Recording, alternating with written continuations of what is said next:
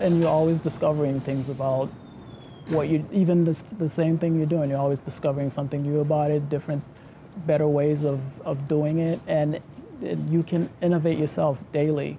Well i've always liked working with my hands. I've always liked building things as, even as a child. So this was this was perfect for me. I was never really good at communicating verbally but if i if i made something like i made something and i made it good that always made me happy and made me proud so that's why I love doing what I do now.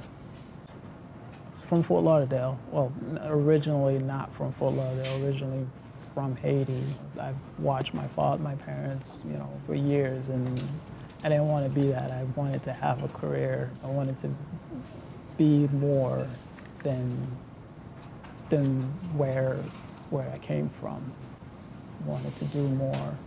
That's why I like this place. I like where I can go. I, I, don't have to stay at this, at this one point. I can always go higher. There's, all, there's opportunities for me to, to move forward, to move higher.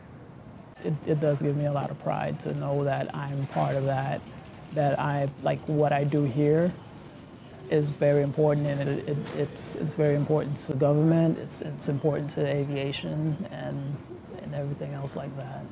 If you want to be, if you want to feel fulfilled and rewarded at, at the end of the day about what you do, then this is the best. The manufacturing is the best thing